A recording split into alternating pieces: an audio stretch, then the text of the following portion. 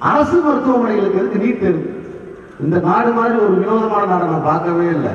முந்தையெல்லாம் பரீட்சை எழுதுனா கவர்மெண்ட்ல வேலை தருவான் நல்லா புரிஞ்சுங்க ரயில்வே எக்ஸாம் எழுதுனா வேலை தருவான் ராணுவத்துக்கு எக்ஸாம் எழுதுனா வேலை தருவான் ஏன்னா படிக்கிறதுக்கே எக்ஸாமா ஒரு கல்லூரிக்குள்ள போறதுக்கே இருக்கியா பரீட்சை இப்ப ராமாயணத்தையே நீங்க எடுத்துக்கங்களேன்.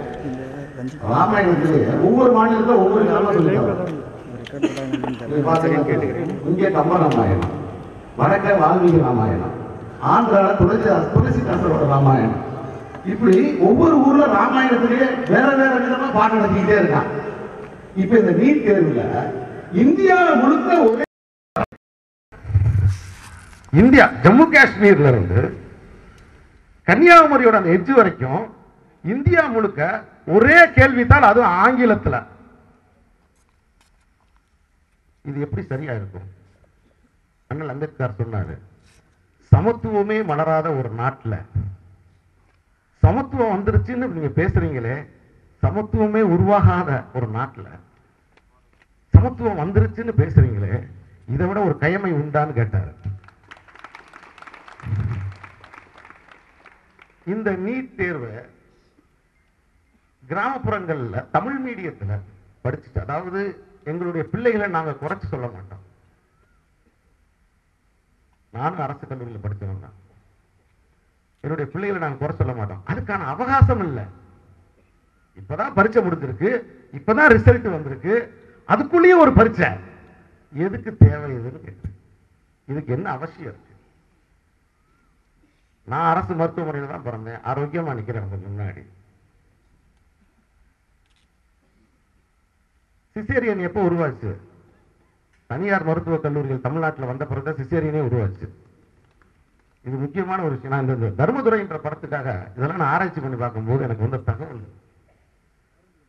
அப்போ அரசு மருத்துவக் கல்லூரிக்குள்ள போனால் ஒரு இவர் இதுக்கு முன்னாடி பேசினவர் சொன்ன மாதிரி ஒரு எல்கேஜிக்கும் நம்ம பிள்ளைகளுக்கு எல்கேஜிக்கும் கட்டுற ஃபீஸை விட குறைவா கட்டலாம் அப்படிங்கிறதுக்காக வாழ்வதற்கு வழி இல்லாம படிப்பை தவிர வேற எதுவுமே இல்லாம கல்வியை தவிர வேற ஆயுதமே இல்லாம முன்னேறதுக்கு தவிச்சு நிக்கிற ஒரு பிள்ளையோட ஒரு பிள்ளை இல்லை. ஓரா தமிழ்நாடு ஃபுல்லா இருக்கிற அனிதாக்கள்.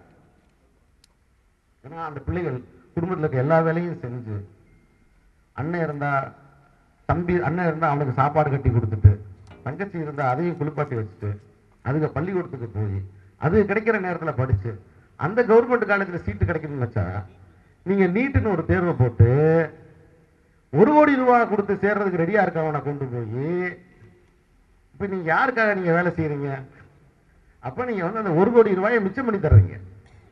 ஒரு கோடி ரூபா கொடுத்து படித்து டாக்டர் பட்டம் வாங்குறவன் உடம்பு உறுப்பாவா பார்ப்பான் பொருளாக தான் பார்ப்பான்.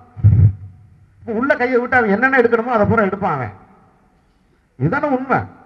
அப்ப இந்த அனிதாவுக்கு நேர்ந்த துயரம்ங்கிறது ஏன்னா இந்த விழாவுக்கு இந்த இந்த நிகழ்வுக்கு இந்த அஞ்சலி கூட்டத்துக்கு அழைத்த ரஞ்சித்துக்கு நன்றி. ஏன்னா நான் மதுரையில இருந்து நீ காலத்து வேகமா வந்தேன். ரொம்ப நன்றி. ஏன்னா என்னுடைய மகளை நான் வந்து கொஞ்சும் போது டாக்டர்மா அப்படின்னா கொஞ்சுவேன். டாக்டர்மான்னு தான் கொஞ்சுவேன் எனக்கு. எனக்கு இந்த செய்தியை நான் பார்க்கும்போது எனக்கு வந்து நெஞ்சமே எனக்கு பதறிடுச்சு.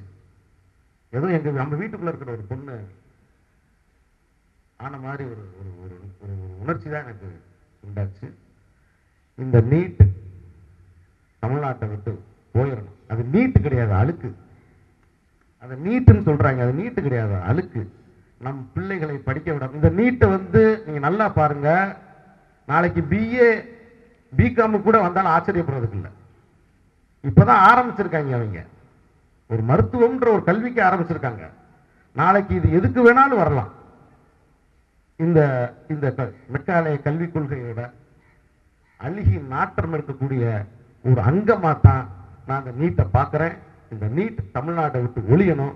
அதுதான் தமிழ்நாடு தமிழ்நாட்டில் இருக்கக்கூடிய அனிதா அனிதா ஒருவேளை இன்னைக்கு இருந்திருந்தா அவருக்கு பின்னாடி எவ்வளவு பெரிய சக்தி தமிழ்நாட்டில் இருக்குன்னு தெரிஞ்சிருக்கும். அதனால தமிழ்நாட்டில் படிக்கக்கூடிய பெண் பிள்ளைகள் ஆண் மக்கள் மகன்கள் இவங்க எல்லாரும் வந்து போராட்டத்தை ஆயுதமா எடுக்கணுமே ஒழிய மரண எதிர்ப்பு வேணான்னு நான் கேட்டுக்கிறேன். நன்றி வணக்கம்.